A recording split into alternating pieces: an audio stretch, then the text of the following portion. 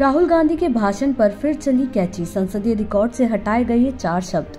जी हाँ लोकसभा में नेता प्रतिपक्ष के तौर पर राहुल गांधी का संसद में दिया दूसरा भाषण भी विवादों में आ गया है। बजट पर चर्चा के दौरान सोमवार को लोकसभा में राहुल गांधी ने जो भाषण दिया था, उसके कुछ शब्दों को रिकॉर्ड से हटा दिया गया है। राहुल गांधी के दूसरे भाषण से जिन शब्दों को हटाया गया है, उनमें मोहन भागवत, अजीत डोभाल, अंबानी और अडानी है। राहुल गांधी ने अपने 45 मिनट के भाषण में इन चारों का नाम लिया था, जिस पर स्पीकर ओम बिरला ने आपत्ति भी जताई थी। नेता प्रतिपक्ष के तौर पर राहुल गांधी के दूसरे भाषण के केंद्र में चक्रव्यूह रहा। राहुल गांधी ने महाभारत युद्ध की चक्रव्यूह संरचना का ज़िक्र करते हुए कहा कि इसमें डर हिंसा होती है और अभिमन्यु को फंसाकर छह लोगों ने मारा। उन्होंने चक्रव्यूह को पद्माव्यूह बताते हुए कहा कि ये एक उल्टे कमल की तरह होता है। राहुल ने कहा था कि एक नया चक्रव्यूह तैयार हुआ है, वो भी लोटस की शेप में है, जिसको आजकल पीएम मोदी छाती पर लगाकर घूमते हैं। अभिमन्यु को छह लोगों ने मारा था, जिनके नाम द्रोण, कर्ण, कृपाचार्य कृतवर्मा, अश्वस्थामा और शकुनी थे।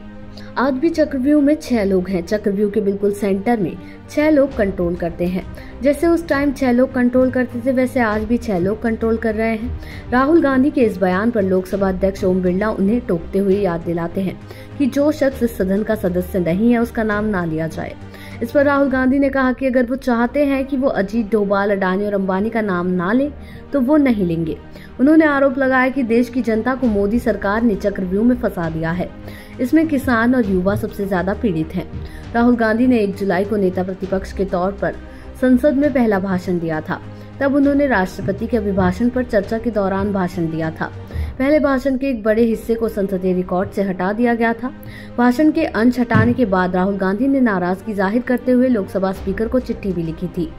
राहुल गांधी ने चिट्ठी में लिखा था कि मैं ये देखकर स्तब्ध हूँ कि किस तरह मेरे भाषण के एक बड़े हिस्से को कार्यवाही से निकाल दिया गया और उसे अंश हटाने की आड़ में हटा दिया गया। राहुल ने यह भी दावा किया था कि हटाए गए अंश नियम 380 के दायरे में नहीं आते हैं। लोकसभा के प्रक्रिया तथा कार्य संचालन नियमों के नियम 380 में कहा गया है कि अगर अध्यक्ष की राय है कि वाद विवाद में ऐसे शब्दों का प्रयोग किया गया है, जो अपमानजनक या अशिष्ट या अनसंसदीय या अशोभनीय है तो अध्यक्ष अपने विवेक का प्रयोग करते हुए आदेश दे सकते हैं कि ऐसे शब्दों को सदन की कार्यवाही से निकाल दिया जाए। ऐसा नहीं है कि बोलने की आज़ादी के साथ सांसद कुछ भी कह सकने के लिए आज़ाद है। कोई भी शब्द या टर्म ऐसा ना हो जो संसद की गरिमा को भंग करता हो। यही हवाला देते हुए सदन की कार्यवाही के दौरान कई बार सांसदों के भाषण से कुछ शब्द वाक्य या बड़े हिस्से भी हटाए जाते रहे हैं। इस प्रोसेस को एक्सपंक्शन कहते हैं। लोकसभा के प्रक्रिया और कार्य संचालन नियम 380 के तहत ऐसा किया जाता रहा है। संसद के मानसून सत्र का मंगलवार यानी 30 जुलाई को सातवां दिन है। आज केंद्र सरकार छह नए बिल पेश कर सकती है।